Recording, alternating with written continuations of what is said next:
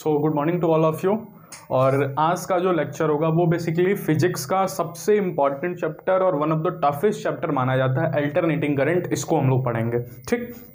अब देखिए alternating current start करने से पहले कुछ बातें हम आप लोगों को बता देना चाहते हैं। जैसे कि इस चैप्टर में थोड़ा सा बहुत ही कंफ्यूजिंग चैप्टर होता है अल्टरनेटिंग करंट बच्चों को समझ नहीं आता कि ओमेगा क्या है टी क्या है फाइव क्या है, और ट्वेल्थ में यह चैप्टर होता है। और इससे रिलेटिव दो तीन चैप्टर जो सबसे इंपॉर्टेंट चैप्टर होता है, इसका जो बेसिक शुरू होता है, वो होता है एस में और वेब्स में। ये बेसिकली एलेवंथ क्लास में पढ़ा दिया जाता है। तो अब चूँकि जो इन्होंने अलेवंथ में इसको पढ़ा होता है, उनको तो ये चैप्टर और इसका अगला जो ट्वेल्थ में वेब ऑप्टिक्स उनको अच्छे समझ में आता है। लेकिन जिनका ये थोड़ा वीक होता है, उसको थोड़ा प्रॉब्लम होता है। तो इस लेक्चर में और इसका अगला लेक्चर भी आएगा अल्टरनेटिंग करंट को लेकर हम लोग बेसिकली दो लेक्चर लाएँगे। तो अल्टरनेटिंग करंट के दोनों लेक्चर मिला के हम आप लोगों को अल्टरनेटिंग करंट में कोई कंफ्यूजन नहीं होगा। ये मेरी गारंटी अगर आपने दोनों लेक्चर को डिसिप्लिन वाइज फॉलो किया तो। ठीक? क्वेश्चन कैसे किया जाता है अल्टरनेटिंग करंट का? ये सभी मैं हिंदी में यहाँ पे आप लोगों को लिखवा दूँगा। जो भी कॉन्सेप्ट है उसको याद करने का पूरा तरीका मैं आप लोगों को समझा दूँगा। तो यार, ये नो अगर सेशन आपको पसंद आए तो प्लीज़ लाइक कर देना और चैनल को सब्सक्राइब करना बिल्कुल मत भूलना, ठीक ना? तो स्टार्ट करते हैं, बिना टाइम का अल्टरनेटिंग करंट ठीक? अब देखिए अल्टरनेटिंग करंट पढ़ने से पहले आप लोगों को पता होगा, एक टर्म मैं आप लिख देता हूँ मैग्नेटिक फ्लक्स क्या होता है? मैग्नेटिक फ्लक्स मैग्नेटिक फ्लक्स तो सबको पता ही होगा। जिन्होंने पढ़ा होगा इलेक्ट्रो सॉरी मैग्नेटिज्म पढ़ा होगा, उनको पता होगा कि फ्लक्स इज़ इक्वल टू होता है? Magnetic field dot area vector मतलब मैग्नेटिक फ़ील्ड और एरिया वेक्टर का डॉट प्रोडक्ट क्या होता है? मैग्नेटिक फ्लक्स अच्छा असली में मतलब क्या होता है मैग्नेटिक फ्लक्स का? कि किसी भी लूप से, मान लीजिए ये लूप है, मान लीजिए बूढ़ी लूप है, ठीक? तो किसी भी लूप से कितने मैग्नेटिक फ़ील्ड लाइंस इंटर कर रहे हैं या फिर इससे बाहर निकल रहे हैं? जितने भी मैग्नेटिक फ़ील्ड लाइंस बाहर निकलते हैं या कल को इससे बाहर निकलते हैं या फिर इसके अंदर जाते हैं, उसी को क्या बोला जाता है? मैग्नेटिक फ्लक्स मतलब magnetic field lines entering any loop is known as magnetic flux अब या तो वो इंटर कर सकते हैं, या फिर उस लूप से बाहर निकल सकते हैं। उसको क्या बोलते हैं? मैग्नेटिक फ्लक्स और होता क्या न्यूमेरिकल वैल्यू इसका? बी और ए का डॉट प्रोडक्ट अगर इलेक्ट्रिक फ़ील्ड लाइंस होता है तो ई डॉट ए का डॉट ई और ए का डॉट प्रोडक्ट चूँकि मैग्नेटिक फ्लक्स है, इसीलिए यहाँ पे लिख देते हैं फाइव बी मैग्नेटिक फ्लक्स तो मैग्नेटिक फ्लक्स है तो मैग्नेटिक फ़ील्ड और एरिया का डॉट प्रोडक्ट अच्छा सर बिल्कुल मैग्नेटिक फ़ील्ड और एरिया का डॉट प्रोडक्ट हो गया, कोई दिक्कत नहीं है। अब होता क्या अल्टरनेटिंग करंट सबको पता होगा, मुझे जहाँ तक उम्मीद है आप लोगों से कि अल्टरनेटिंग करेंट तो सबको पता ही होगा, क्या होता है, दसवीं क्लास में हम इसको पढ़ लेते हैं, जिसका डायरेक्शन क्या हो चेंज हो। मतलब एक ऐसा करंट जिसका डायरेक्शन क्या हो रहा हो, हर समय चेंज होता रहा हो। मतलब ये नहीं कि कांस्टेंट डायरेक्शन में वो फ्लो कर रहा है करंट ठीक ना? करंट का डायरेक्शन हमेशा क्या होता रहा है समय के साथ चेंज अब कैसे चेंज होता है सर हम क्या करते हैं, एक लूप को लेते हैं। अब ये किसके प्रेजेंस में होता है? मैग्नेटिक फ़ील्ड के प्रेजेंस में होता है। अच्छा सर मैग्नेटिक फ़ील्ड के प्रेजेंस में होता है। अगर मैग्नेटिक फ़ील्ड के प्रेजेंस में है तो इससे फ्लक्स ज़रूर जाएगा। कितना जाएगा फ्लक्स सर फ्लक्स जाएगा इससे बी डॉट ए अच्छा सर बी डॉट ए हो गया। बी डॉट ए हमको समझ में आता है, इसको कैसे डॉट प्रोडक्ट को कैसे सोचते हैं? तो बी डॉट ए मतलब होता है बी ए कॉस थीटा हमेशा याद रखिए डॉट में कॉस खुलता है क्रॉस में कॉस नहीं खुलता। ऐसे तरीका याद रखिए क्रॉस प्रोडक्ट में कॉस नहीं खुलता। क्रॉस और कॉस मिलते जुलते शब्द है ना? तो याद रखिए क्रॉस में कॉस नहीं खुलता तो कॉस कहाँ खुलेगा? डॉट प्रोडक्ट में कॉस थीटा अब देखिए थीटा तब तक कॉन्स्टेंट है जब तक हम इसको घुमाए नहीं है। थीटा, तब तक कांस्टेंट है। एरिया तो कांस्टेंट है, यहाँ पे रख दिए तो एरिया तो कांस्टेंट है। मैग्नेटिक फ़ील्ड भी कांस्टेंट लगा के ही रखे हैं। लेकिन करंट की उत्पत्ति तब होगी ना जब या तो बी चेंज हो। या तो ये चेंज हो जिन्होंने पढ़ा होगा ईएमआई इसका पहला वाला चैप्टर इलेक्ट्रोमैग्नेटिक इंडक्शन उसमें आप लोगों ने पढ़ा होगा बिल्कुल कि यदि बी चेंज हो, या फिर ए चेंज हो, या फिर थीटा चेंज हो, तीनों में से किसी एक को चेंज होना पड़ता होना पड़ता है, तभी लूप में क्या जनरेट होगा? करंट ठीक? अच्छा सर कोई दिक्कत नहीं बी और ए थीटा में चेंज तो सर यहाँ पे तो बी कॉन्स्टेंट है, बिल्कुल कॉन्स्टेंट है बी अच्छा एरिया सर एरिया भी कॉन्स्टेंट है, कैसे? अगर मूव नहीं करा रहे हैं वेलोसिटी से तो एरिया भी कॉन्स्टेंट है। तो किसको बदले सर हम बदलेंगे थीटा को। अच्छा सर, थीटा कैसे बदलेगा? थीटा किसके किसके बीच का होता है? थीटा होता है मैग्नेटिक फ़ील्ड और एरिया वेक्टर के बीच का।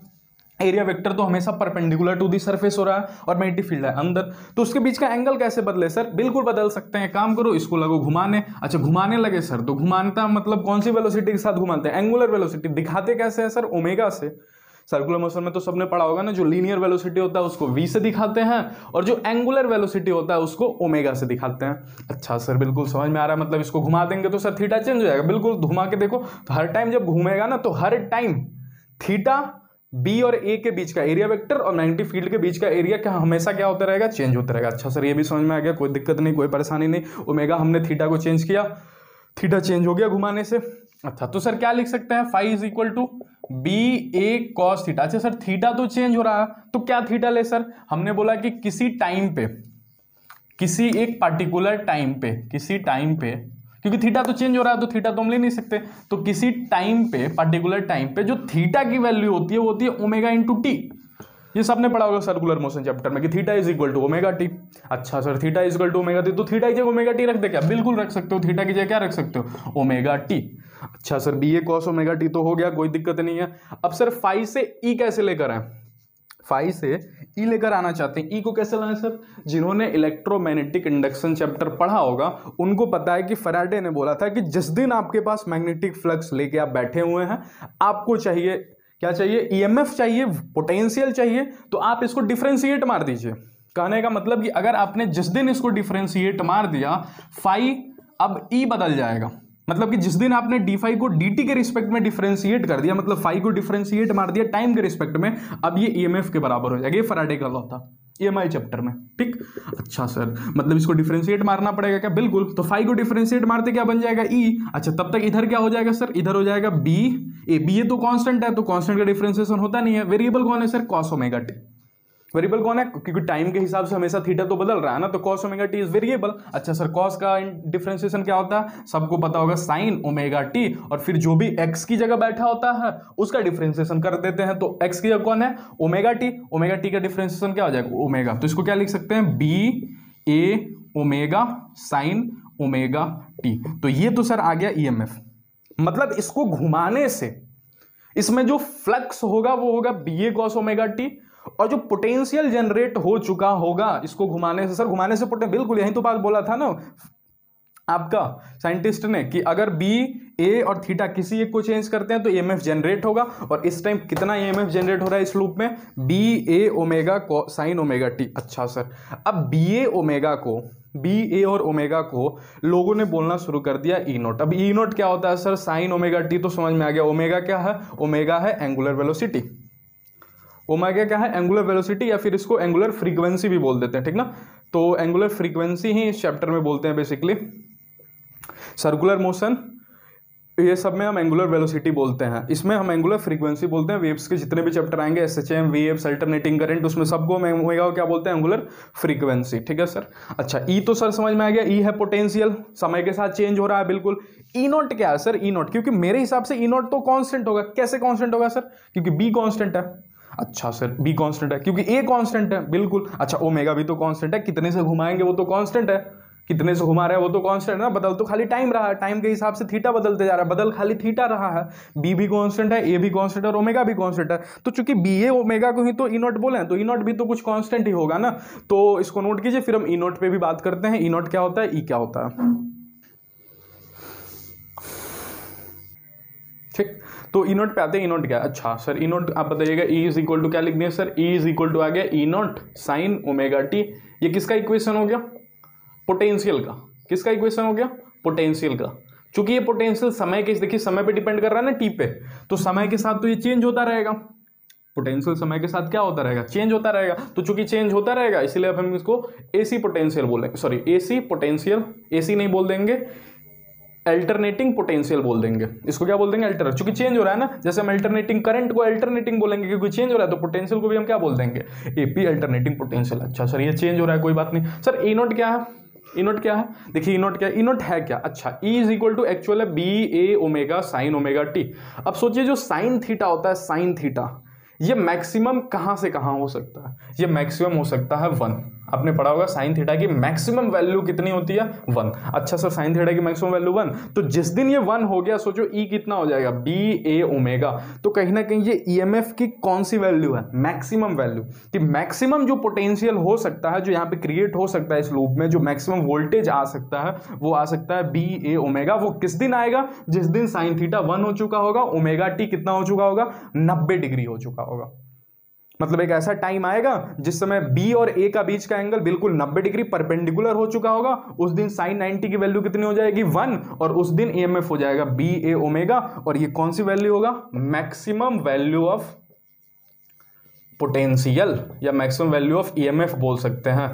मैक्सिमम वैल्यू किसकी हो जाएगी? ईएमएफ की। अब लोगों ने चूँकि ये मैक्सिमम वैल्यू है, इसलिए इसको ई नॉट बोलना शुरू कर दिया। और इसको मैक्सिमम वैल्यू ना बोल के एक और नाम दे दिया। दैट इज़ पीक वैल्यू कौन सी वैल्यू सर पीक वैल्यू कौन सी वैल्यू पीक वैल्यू तो ई e तो हमारा ईएमएफ है जो हर टाइम समय के हिसाब से चेंज होता रहेगा, लेकिन ये ई नॉट जो है ना, ये पीक वैल्यू है। मतलब ये बताएगा अगर मान जी ई नॉट की वैल्यू हम दे दिए 20 वोल्ट कितना दे दिए? 20 वोल्ट मतलब इस लूप में जो पोटेंशियल जनरेट हो रहा है, उस पोटेंशियल जो मैक्सिमम पहुँच सकता है, वो कहाँ से कहाँ तक पहुँच सकता है? 20 वोल्ट हमेशा 20 से नीचे ही रहेगा। 20 मैक्सिमम हो गया। अच्छा सर ये ई नॉट और ई में एक रिलेशन भी आता है, उसको भी बताते हैं। नोट कीजिए। ठीक, अब देखिए, हमारे घरों में जो लाइट हमारे घरों में जो इलेक्ट्रिसिटी आती है, हमारे घरों में जो इलेक्ट्रिसिटी आती है बेसिकली बेसिक लेक्चर है आज का अल्टरनेटिव करंट जो अगला लेक्चर होगा ना, उससे पूरा न्यूमरिकल बनेगा। हमारा जितना भी न्यूमरिकल आएगा एग्ज़ाम में, वो अगले लेक्चर से बनेगा। आज का लेक्चर बिल्कुल थ्योरी वाला होगा थ्योरी हम पढ़ेंगे इसमें। अगला लेक्चर में प्रॉब्लम कैसे कैसे होता है एग्ज़ाम में जो आता है वो कैसे सॉल्व करेंगे आप उस पर हम बात करेंगे। अभी हम बेसिक पे बात कर रहे हैं ताकि थ्योरी भी थोड़ा कवर हो जाए। इलेक्ट्रिसिटी जो भी आता है हमारे घर में वो अल्टरनेटिंग करंट मतलब चेंज होने वाला करंट ही आता है। ऐसे ही टर, ऐसे घुमाया जाता है लूप को जैसे अभी था ना ये लूप था जिसको हम घुमाए तो ईएमएफ जनरेट हुआ जैसे ही घुमाया जाता है जिनको टर्बाइंस बोला जाता है बेसिकली ठीक ना? अच्छा सर ये सब तो हमको जानने से मतलब है नहीं सर आप तो ऐसा बताइए जिससे हमारा क्वेश्चन बन जाए। बिल्कुल।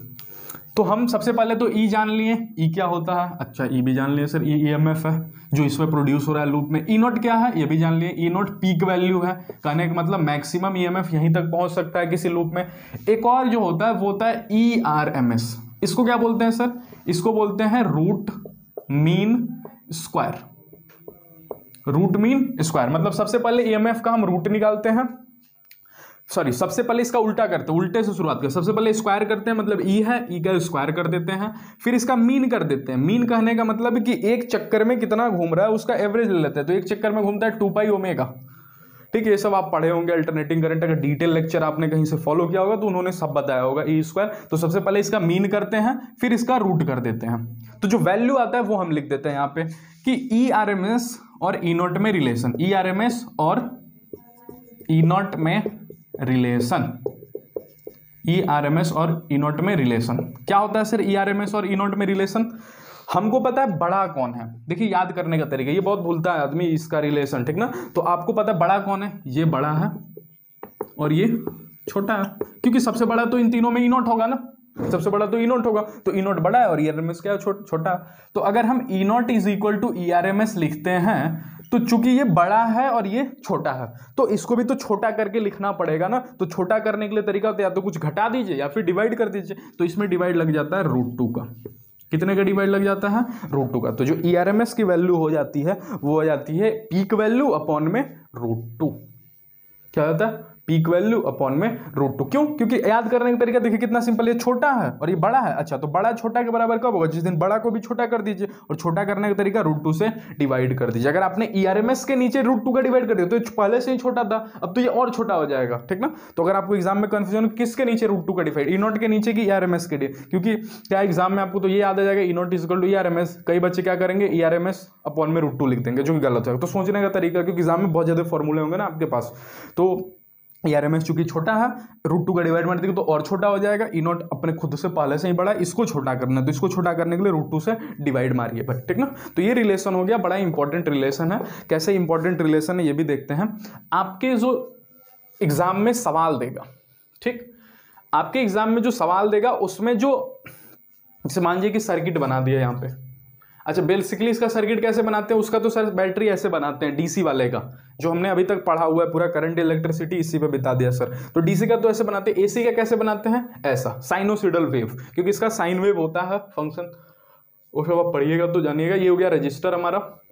ये हो गया सॉरी रजिस्टर ये नहीं तो डीसी ये हो गया हमारा रजिस्टर अच्छा सर रजिस्टर हो गया। ई e कितना है sir E naught sine omega T अच्छा ये इनोट साइन ओमेगा टी में कोई कोई लोग प्लस फाइव भी जोड़ देते हैं। प्लस फाइव क्यों जोड़ते हैं? क्योंकि जब हम इसको डिराइव किए तो मान के चले थे, शुरू में जो एंगल है बी और ए के बीच का वो कितना है? ज़ीरो ऐसा ज़रूरी तो नहीं है कि शुरू में बी और ए का बीच का बिल्कुल बिल एंगल कितना हो? ज़ीरो वो कुछ और भी हो सकता है। जैसे मान जी मैंटी फ़ील्ड इधर एरिया वेक्टर ऐसे हो, तीस डिग्री कोण के साथ तो शुरू में कुछ ना कुछ तो एंगल होगा ना? तो हम लेट से बोल देते हैं प्लस में फाइव शुरू का एंगल कितना है? फाइव तो यह है शुरू का एंगल बस आप इतना सोचिए। इसको बोलते हैं इनिशियल फेस या फ़ेज़ कांस्टेंट कुछ लोग बोल देते हैं, शुरू का एंगल इसको क्या बोलते हैं, अंग्रेज़ी में क्या बोलते हैं फ़ेज़ कांस्टेंट ये तो नहीं बदलेगा ना शुरू का एंगल तो बदलेगा नहीं इसलिए इसको लोग कांस्टेंट बोल देते हैं। क्योंकि शुरू में तीस डिग्री है तो, तो हमेशा तो तीस डिग्री क्योंकि शुरू का एंगल है भाई। तो फेस कांस्टेंट हो गया शुरू का एंगल आप ये समझिए। स्टार्टिंग में जो बी और ए का बीच का एंगल है वो है फाइव और ई e नोट आपको पता ही चल गया ओमेगा आपको बताई दी एंगुलर एंगुलर वेलोसिटी और टी आपको टाइम बताई दी। अच्छा sir E is equal to E naught sine omega T ये तो हो गया। कभी कभी क्या होगा इसका मार्किंग दे देगा दो सौ बीस वोल्ट अच्छा सर 220 वोल्ट। जब डीसी वाले में करंट इलेक्ट्रिसिटी में दे रहा था ना, सर तो हमको समझ में आता था कि ईएमएफ e की वैल्यू है 220 वोल्ट। अच्छा सर तो इसमें क्यों नहीं समझ में आएगा? अरे, इसमें कैसे समझ में आएगा, सर? 220 वोल्ट तो तीन तीन लोग ले सकते हैं E E naught E R M S क्योंकि हमारे पास तो तीन तीन लोग खड़े हैं एसी के नाम पे। डीसी में तो सर एक ही था ई e, हम समझ जाते थे अच्छा ये 220 लिख दिया तो ज़रूर ई e 220 होगा। हम तुरंत क्या कर देते थे? आई इज़ इक्वल टू दो सौ बीस अपॉन में आर का फॉर्मूला लगा के क्वेश्चन सॉल्व कर लेते थे। I equal to V R V equal to I R का इक्वेशन लगा लेते थे। लेकिन इस टाइम इसका मार्किंग अगर सर 200 ऐसे दिया तब तो कोई दिक्कत नहीं है सर। लेकिन कल को अगर 220 वोल्ट दे दिया तो सर कौन सा वाला होगा? ई e वाला होगा ई नॉट वाला होगा कि ई आर एम एस वाला होगा? तो हम बोलते हैं ये होता है ई आर एम एस क्या होता है? ई आर एम एस मतलब जितने भी मार्किंग किए जाते हैं ना, जितने भी डिवाइसेस पे मार्किंग किए जाते हैं that marking will be root mean square value of E M F कौन सी वैल्यू होती है? ई आर एम एस कौन सी वैल्यू होती है? ई आर एम एस मतलब अगर आपको 220 वोल्ट दे दिया तो आप तुरंत समझिए, ये भाई E R M S value है। कौन सी वैल्यू है? ई आर एम एस तो इसका सोचो पीक वैल्यू क्या होगा? मतलब इसका पीक वैल्यू क्या होगा? ई नॉट रूट टू का गुणा कर दो भाई ए आर एम एस में, क्योंकि ये तो बड़ा है तो रूट टू का गुणा करवाएगा मतलब दो सौ बीस इंटू रूट टू कर लो, दो सौ बीस इंटू रूट टू कितना आ रहा होगा? दो सौ बीस इंटू रूट टू करोगे तो शायद थ्री वन वन टाइप में आ जाए मतलब अब मान जाओ, कोई तुमसे सवाल पूछे कि डीसी है तुम्हारे पास 220 वोल्ट का और एसी है तुम्हारे पास 220 वोल्ट का एक एग्जांपल जनरल एग्जांपल डीसी है 220 वोल्ट और एसी है 220 वोल्ट कौन ज़्यादा खतरनाक होगा ज़ाहिर सी बात है डीसी तो 220 220 है लेकिन एसी 220 का मतलब हुआ कि 220 सौ बीस इंटू रूट टू इसका मैक्सिमम वैल्यू इतना है भाई 220 बीस इंटू रूट टू एक्चुअल में 220 आरएमएस वाला है मैक्सिमम तो 220 बीस इंटू रूट टू है ना तो ज़्यादा पोटेंशियल हो गया तो ज़्यादा खतरनाक होगा तो ए सी ज़्यादा खतरनाक होता है compare to D C basic बात है तो सबसे पहले क्या बताएँ हम? सबसे पहले एक एक टर्म का मतलब जानना सबसे ज़रूरी है। जिसमें सबसे इंपॉर्टेंट ये ई नोट आएगा। सवाल सॉल्व करने के लिए सर कभी भी मार्किंग देगा, इसका वैल्यू दे दिया पचास वोल्ट तो ये पचास वोल्ट कौन वाला होगा सर ये होगा ई आर एम एस क्या होगा? ई आर एम एस चलिए इसको नोट कीजिए। रफ आप अपना नोट देखें, हम यहाँ पे नोट्स नहीं करवा रहे, ठीक ना? तो आप लोग को बस समझाते जा रहे हैं। आप लोग इसमें से जो भी इंपॉर्टेंट चीज़ है, जो आपको लगे, हिंदी में बकायदा उसको नोट कर दीजिए नोट कर लीजिए। चलिए। अब देखिए, अब हम सबसे पहला टॉपिक पढ़ेंगे प्योरली रजिस्टिव सर्किट मतलब हम कुछ सर्किट के बारे में पढ़ेंगे, जिसमें सबसे पहला सर्किट होगा purely resistive circuit purely resistive circuit करने का मतलब मतलब एक ऐसा सर्किट लिख देते हैं। एक ऐसा सर्किट एक ऐसा सर्किट जिसमें खाली, जिसमें केवल रजिस्टर हो। अच्छा सर, जिसमें केवल रजिस्टर है, उसको हम बोल देंगे प्योरली रजिस्टिव सर्किट हाँ बिल्कुल। अच्छा सर रजिस्टर के अलावा और कौन कौन लोग हो सकते हैं, जिनको जिनको ट्वेल्थ में पता चल गया होगा भाई कि सब चीज़ पढ़ चुके हैं उनको पता चल गया होगा कि रजिस्टर के नाम पे दो और दुनिया में लोग होते हैं। नाम होता है इंडक्टर और कैपेसिटर कैपेसिटर तो हमारा चैप्टर ही है, कैपेसिटेंस, और इंडक्टर हम आगे पढ़ लेते हैं, इलेक्ट्रोमैग्नेटिक इंडक्शन इंडक्शन से इंडक्टर, ठीक ना? तो दो और डिवाइसेस होते हैं, कैपेसिटर और इंडक्टर। तो प्योरली रजिस्टिव का मतलब वो एक ऐसा सर्किट जिसमें केवल कौन हो? रजिस्टर अपना खाली रजिस्टर हो, ठीक? तो ड्रॉ कर, किया जाए सर इस सर्किट को? ये हो गया रजिस्टर अब देखिए, एक डीसी का भी फील देंगे, और एक एसी का भी। ताकि एग्ज़ाम में जब आपका सवाल आए तो लग जाए आपको कि कौन एसी है, कौन डीसी वाला। है एसी ऐसा दिखेगा डीसी ऐसा दिखेगा। अच्छा सर, ये आर हो गया और ये ई e हो गया। ये आर हो गया और ये ई e हो गया। ये तो सर ई e नहीं है, ये ई e क्या है? अच्छा ई दे दिया तो हम क्या समझेंगे? ई इज़ इक्वल टू है। E naught sine omega T plus में फाइव यही है sir sine omega T plus में फाइव अच्छा सर, ठीक है, कोई दिक्कत नहीं। साइन ओमेगा टी प्लस में फाइव हमको समझ में आ गया, सर। अच्छा उस टाइम इस टाइम दोनों टाइम हम करंट निकालते हैं। इस टाइम करंट क्या होगा? V is equal to I R तो i इज़ इक्वल टू क्या हो जाएगा? V v कितना है? E अपॉन में r तो डीसी में तो कोई दिक्कत ही नहीं होता था sir i is equal to E by R इसमें आई क्या होगा सर इसमें इसमें आई क्या होगा? निकालते हैं। E इज़ इक्वल टू है E naught sine omega T plus में फाइव तो सोचो आई इज़ इक्वल टू क्या होगा? वही फॉर्मूला लगा। V is equal to I R तो इसमें भी लगता है। V is equal to I R इसमें भी लगेगा। लेकिन अब V E नहीं है। V है तुम्हारा E naught sine omega T plus में। अच्छा देखिए, जब भी जितना भी डेरिवेशन है ना, उसमें हम फाइव को ज़ीरो ही लेके चल रहे हैं, ताकि आसान लगे आपको। ये नहीं कि पहले ही आप हथियार डाल दीजिए अगर इतना बड़ा इक्वेशन इसलिए हम फाइव को ज़ीरो ही लेके चल रहे हैं सभी इक्वेशन में। हम बस आपको बता दिए कि फाइव का मतलब क्या होता है, वो दस शुरू का एंगल अगर कल को ज़ीरो है मतलब बी और ए के बीच का शुरू का एंगल ज़ीरो तो आप फाइव को उड़ा दीजिए डिलीट कर दीजिए। E naught sine omega T is equal to I R अच्छा तो आई क्या हो गया sir I is equal to हो गया यहाँ से E naught sine omega T upon में आर अच्छा सर, कोई दिक्कत नहीं, कोई परेशानी नहीं। तो यहाँ से क्या होता है ना, लोगों ने ई नॉट अपॉन में आर को, सोचो यहाँ पे ई नॉट अपॉन में आर ये ई तो मैक्सिमम है, क्योंकि अब सब चीज़ तो डीसी में तो सब यही है ई नॉट भी यही है ई आर एम एस भी यही है, सब चीज़ तो डीसी में यही होता है ना, अकेला यही। लेकिन इसमें तो सब अलग अलग होता है। तो डीसी के लिए तो मैक्सिमम यही है। अब मैक्सिमम अपॉन में आर क्या हो जाता है? करंट अच्छा ये करंट भी कौन वाला है? मैक्सिमम करंट डीसी के लिए तो ये मैक्सिमम करंट भी यही है और मैक्सिमम पोटेंशियल भी यही है। तो सोचो मैक्सिमम पोटेंशियल अपॉन में रेजिस्टेंस क्या हो जाता है? मैक्सिमम करंट तो मैक्सिमम पोटेंशियल अपॉन में रेजिस्टेंस क्या हो जाएगा? मैक्सिमम करंट मतलब I naught sine omega t अगर सर अच्छा सर आई नॉट से क्यों दिखा? क्योंकि मैक्सिमम पोटेंशियल को ई नॉट से तो मैक्सिमम करंट को किससे? आई नॉट से। तो ये क्या हो गया सर आपके हिसाब से ये हो गया मैक्सिमम करंट हम हम बोले बिल्कुल मैक्सिमम करंट लेकिन कौन से सर्किट के लिए है केवल? प्योरली रजिस्टिव के लिए। तो अगर प्योरली रजिस्टेंस है, खाली रजिस्टर है तो ई हो जाता है E naught sine omega t और आई हो जाता है I naught sine omega t sir मज़े की बात तो इसमें बताइए, सबसे इंपॉर्टेंट क्या बात है? ये इसको नोट कीजिए जल्दी से, इसको मिटा देते हैं। देखिए, सबसे इंपॉर्टेंट बात E equal to E naught sine omega t I equal to I naught sine omega t अच्छा सर मैक्सिमम करंट है, ये आई हमको पता चल गया करंट है। आई नोट क्या हो गया सर ई नोट अपॉन में आर आई नोट क्या हो गया? ई नोट अपॉन में आर डीसी सर्किट के लिए आई क्या होता है? वी बाई आर कोई दिक्कत नहीं है। किसके लिए हो गया? डीसी के लिए। लेकिन एसी के लिए ये नहीं है। ये है एसी के लिए तब जब खाली सर्किट में कौन हो? सर्किट में केवल रजिस्टेंस हो। सर्किट में केवल कौन हो? सर रजिस्टर हो। कौन हो? रजिस्टर हो। मतलब सर कल को अगर सर्किट में कैपेसिटर आ गया तो sir sir E naught upon में आ रही फॉर्मूला लगेगा क्या? नहीं, बिल्कुल नहीं। तब कैपेसिटर का अलग होगा आई नोट मतलब मैक्सिमम करंट निकालने का अलग फॉर्मूला अच्छा सर इंडक्टर होगा तब? अलग फॉर्मूला अच्छा सर अगर कल को दोनों मिल जाए तो मतलब रजिस्टर इंडक्टर सब हो तब? अलग फॉर्मूला मतलब हर के लिए अलग अलग फॉर्मूला लेकिन जो कॉमन बात होगी जो आपको सवाल सॉल्व करने के लिए करना है। अच्छा ये वाला यहाँ पे जो तो इनोट आपको कैसे पता चलेगा? इक्वेशन देख के मान जी किसने दे दिया ई इज़ इक्वल टू सौ साइन कितना दे दिया? ट्वेंटी टी मान जी इतना दे दिया। तो इसको देख के तो आप बता सकते हैं ना कंपेयर करके। यहाँ से तो आप कंपेयर कर ही लोगे। कंपेयर कैसे कर लोगे? ई नोट की जगह कौन लिखा है? सौ। तो ई नोट हो गया यहाँ से सौ। अच्छा ई नोट हो गया सौ और ओमेगा क्या हो गया? बीस। हमको दो ही चीज़ तो पता करना होता है ई नोट और ओमेगा उसके बाद तो सवाल ही पूरा सॉल्व हो जाता। है ई नोट पता करना होता है और ओमेगा पता करना होता है। और अगर किसी दिन मार्किंग दे दिया तो अभी जस्ट पाँच मिनट पहले बताया जैसे जैसे इसका मार्किंग दे दे कल को पचास वोट तो पचास वोट से ई नोट नहीं निकल जाएगा क्या? बिल्कुल, ये क्या होता है हमारा?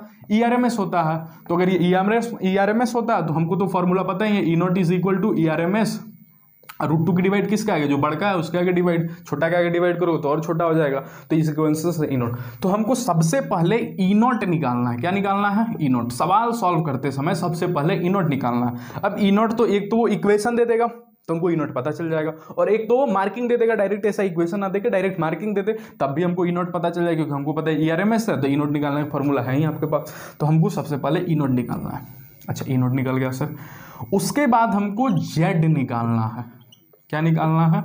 जेड निकालना है। देखिए, पूरा एकदम हिंदी में लिख दे रहे हैं, क्या क्या करना है आपको, सवाल में करना क्या है? ऐसे सब याद रहेगा ना तो तुरंत दो सेकंड, तीन सेकंड में सॉल्व, आप क्वेश्चन सॉल्व कर दिए देखिएगा क्वेश्चन सॉल्व। पूरा फ्रेम की तरह याद कर लेना कि क्या निकालना है, क्या करना है सबसे पहले। नहीं तो पाँच मिनट तो सोचिएगा क्या करना है भाई सवाल देख के। तो सबसे पहले ई नोट निकालना है। ई नोट निकालने के भी दो तरीके हम आपको बता दिए। अच्छा उसके बाद क्या करना है? जेड निकालना है। जेड क्या होता है, सर? जैसे जैसे आगे पढ़िएगा, सब पता चल जाएगा। जेड होता है इम्पेडेंस ऑफ़ सर्किट क्या होता है सर? अच्छे से बताइए इसको अभी नहीं, दूसरे लेक्चर का वेट करो, ठीक ना? इंपिडेंस ऑफ़ द सर्किट पूरा अगले लेक्चर में समझ में आ पाएगा, ठीक ना? अभी नहीं बता सकते। आई नोट का फॉर्मूला क्या हो जाएगा? ई नोट और ऊपर देखिए नीचे क्या है? आर तो आर की जगह हो जाएगा जेड बस। यही फॉर्मूला पूरा सवाल solve I naught is equal to E naught upon में Z I naught is equal to E naught upon में जेड अब अगर प्योरली रजिस्टिव है तो जेड की जगह हो गया आर प्योरली कैपेसिटर है तो जेड इज़ इक्वल टू हो जाता है, हम लिख देते हैं यहाँ पे। इसको मिटा के हम लिख देते हैं पूरा। ये आपने नोट कर लिया होगा, लिख देते हैं। जेड की अलग अलग वैल्यू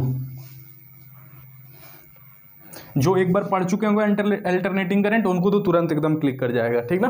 कि जेड क्या होता है। लेकिन जो नहीं पढ़े, अगले लेक्चर का वेट करें। अगर रजिस्टर है खाली खाली कौन है?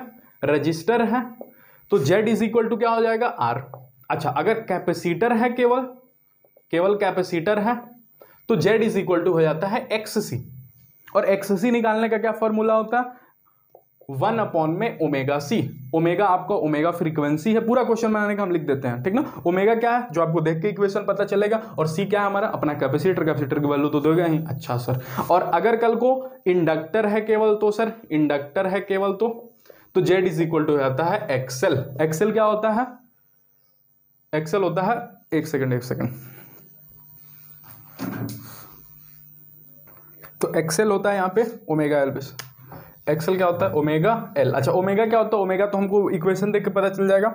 और एल क्या होता है? एल होता है इंडक्टर इंडक्टर की वैल्यू आपको देखा अच्छा सर देखिए, हम एग्ज़ाम में बैठेंगे ना तो आपको तो हमारा बीमारी पता ही है, हमको तो भूलने की बीमारी है सर हम भूल जाएँगे। हम क्या हो गया X C is equal to one upon में ओमेगा एल लिख देंगे और X C is equal to omega C लिख देंगे और पूरा खेल ही गलत होगा, क्योंकि हम तो कंफ्यूज रहेंगे कि एक्स सी के नीचे वन अपॉन में ओमेगा सी है, कि एक्सएल है वन अपॉन में ओमेगा एल हम तो ऐसे भूलेंगे। आप दूसरा कोई तरीका बता दीजिए ना तो देखिए, हम जो बोलेंगे ना, वही इंपॉर्टेंट है। मतलब बोल दिए, आपको एक बार दिमाग में आ जाएगा और आप याद कर लीजिएगा, आपके दिमाग में बैठ जाएगा और आपको भी ज़िंदगी में भूलिएगा नहीं। सोचिए यहाँ पे एल क्या है?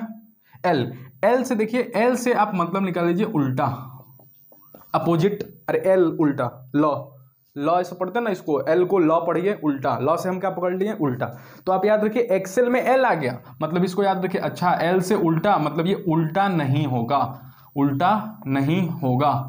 तो उल्टा नहीं होगा तो कैसा होगा? सीधा होगा। मतलब एक्सेल के एकदम सामने ही होगा ओमेगा एल अच्छा तो एक्सी के सामने क्या हो गया? वन अपॉन में ऐसे एग्ज़ाम में बैठ के आपको कुछ तो ऐसे होगा ना इसे नहीं तो रटने जाइएगा एक्सेल रट तो लीजिएगा एक्सेल इसको डोमेगा एल रटना कौन से भरी बात है? लेकिन जब एग्ज़ाम में बैठेगा ना तो फिर दोनों में कंफ्यूज होएगा इससे जो बोल दिए हम, अभी इंपॉर्टेंट हो गया कि एक्सेल एल एल मतलब क्या हो गया? उल्टा।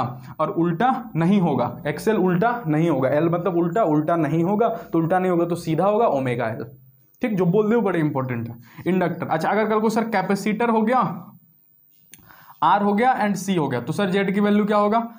और आई एंड सी हो गया तो जेड की वैल्यू क्या होगा?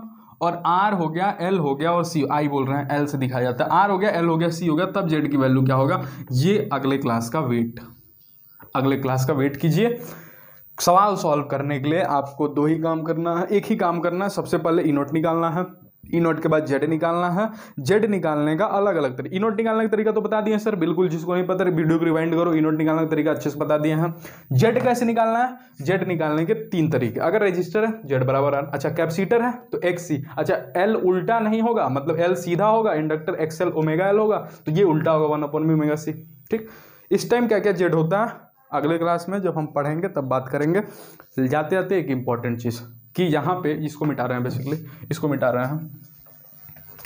जाते जाते एक इंपॉर्टेंट चीज़ जो बता दें। यहाँ पे जो ई e आया था, वो आया है E naught sine omega t और आई क्या आया है? I naught sine omega t copy में नोट करके कहीं चिपका दीजिएगा कि जब रजिस्टर हो तो E to E naught sine omega t I equal to I naught omega अगर हम पूछे कि दोनों में एंगल का कितना डिफरेंस है, आप बोलिएगा ज़ीरो डिग्री सर क्यों ज़ीरो डिग्री यहाँ पे देखिए, यहाँ पे भी साइन ओमेगा टी यहाँ पे भी साइन ओमेगा टी ये इनोट और आइनोट तो अपना अलग है। एंगल देखिए ना, यहाँ पे भी साइन ओमेगा टी और यहाँ पे भी साइन ओमेगा टी मतलब अगर कल को खाली रजिस्टर हो ना सर्किल में तो अगर ई e की डायरेक्शन ये है तो आई की भी डायरेक्शन इतनी ही होती है। किस केस में? प्योरली रजिस्टर में। प्योरली रजिस्टर में। मतलब कि ई e का, अगर मानिए ये वाला हाथ हमारा ई e है ना तो आई जस्ट इसके ऊपर से ही जाएगा। दोनों का डायरेक्शन पैरेलल होता है ई e और आई का। मतलब इनमें फ़ेज़ डिफरेंस ज़ीरो होता है। इनमें जो फ़ेज़ डिफरेंस होता है, मैंने एंगल का जो डिफरेंस होता है, वो ज़ीरो होता है। आप खुद देखिए, यहाँ पे देखिए एंगल बिल्कुल ज़ीरो आया। अगले वाले में जब हम देखेंगे कैपेसिटर में एल में तो इसमें फ़ेज़ डिफरेंस ज़ीरो नहीं आएगा, कुछ ना कुछ अलग आएगा। इसलिए हम बता दें आपको कि जब प्योरली रजिस्टर होगा तो फ़ेज़ डिफरेंस कितना होगा? ज़ीरो मैंने ई और आई में बिल्कुल, अगर मान लीजिए ई की सिन दे दिया आपको E naught sine omega t plus में तीस डिग्री तो आई कितना हो जाएगा? आई हो जाएगा I naught sine omega t plus में तीसरे डिग्री। क्यों तीस डिग्री? क्योंकि दोनों में एंगल सेम रखना है। दोनों का एंगल क्या रखना है? सेम तो ये ओमेगा टी प्लस में तीस है तो ये भी ओमेगा टी प्लस में तीस ही होगा। चलिए तो आज का क्लास यहीं पे एंड करते हैं। अगले क्लास में मिलते हैं। ये सब बात आपको जानना है तो अगला वीडियो आपको देखना पड़ेगा। Thank you